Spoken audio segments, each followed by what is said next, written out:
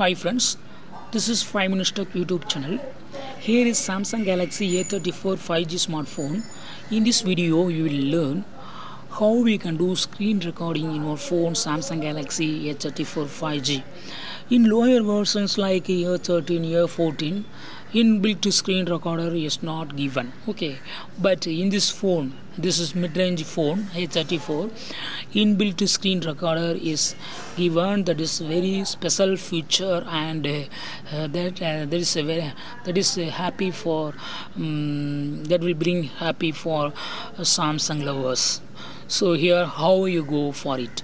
Just go to the settings of uh, sorry go to the notification area and here itself you will find a screen recorder icon this is the screen recorder icon. Just click it and it will ask whether you want to use media or media and mic. Media means internal internal sound.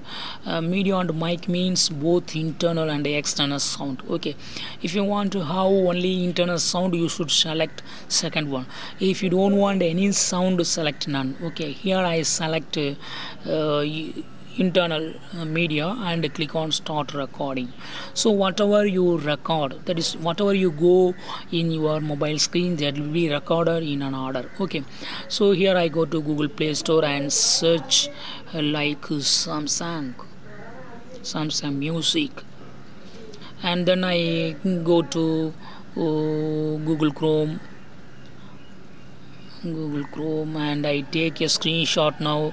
So whatever i do that will be recorded because uh, screen recording is turned on. It's going on. Okay. If you want to stop the screen recording you have to click on this stop button. Okay. This is the stop button. Suppose if you want to uh, pause just click here and it will be paused. And uh, again if you want to resume click here again and uh, again uh, it started. Okay uh, it's continued. Okay uh, where you left from which it's continued. Okay it will be added to the screen recording file. Okay if you want to completely stop click here. Click here and it will be stopped.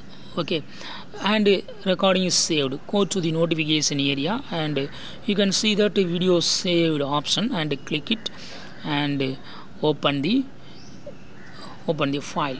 Okay. This is the recorder file. See here it's playing now. So what I did in the past that are showing here. So in this way you can easily do screen recording in your phone Samsung Galaxy A34 5G that's all friends. Thanks for watching. Bye